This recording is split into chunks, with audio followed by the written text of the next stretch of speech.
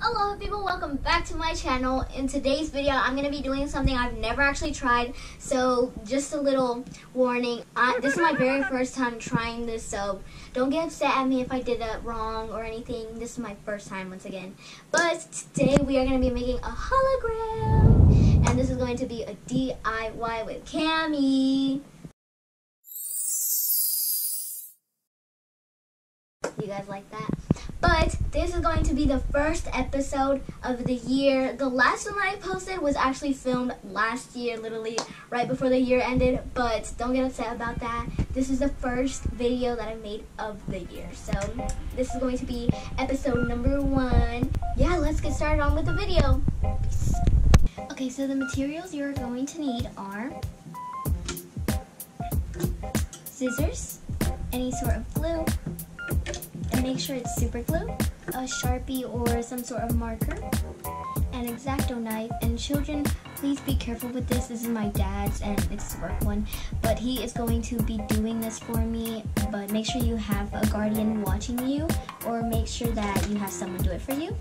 You are also going to need a ruler, to make the hologram, I'm going to be using the CD case, but it's going to be the clear part. So I'm not going to use the part where it's frosted, so I'm only going to use the clear part.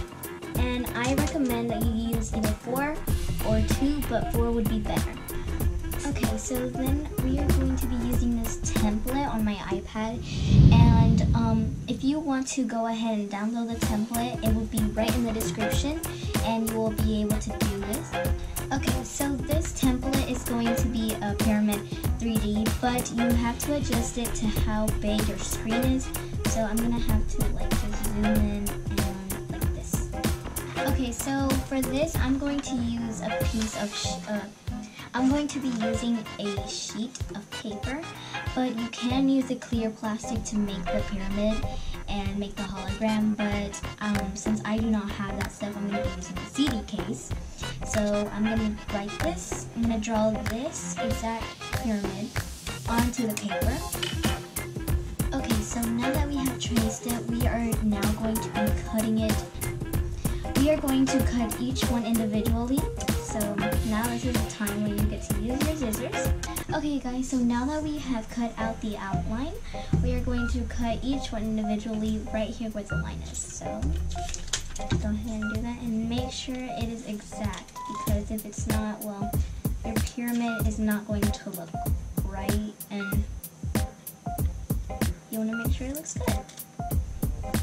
Okay, so now that we have our four little pyramids, so we are going to get one of the lids and we are going to put one down and we're going to trace out outside of it. That way we can get our little pyramids and do it four times with as many CD cases as you can.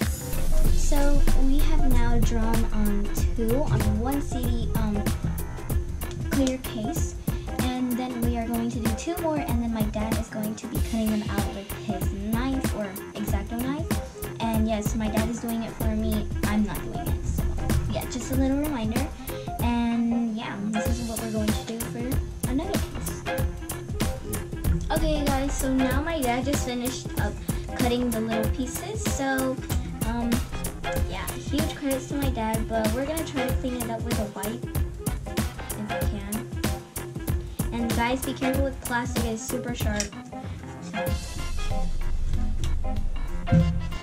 So after doing everything, we are going to put side to side and that way it will make our um, hologram. So we are going to glue it together and please be careful. We are going to be using Scotch super glue and it's really extremely strong so please be careful and if you can't do it yourself, make sure you ask one of your parents or a guardian to help you with this.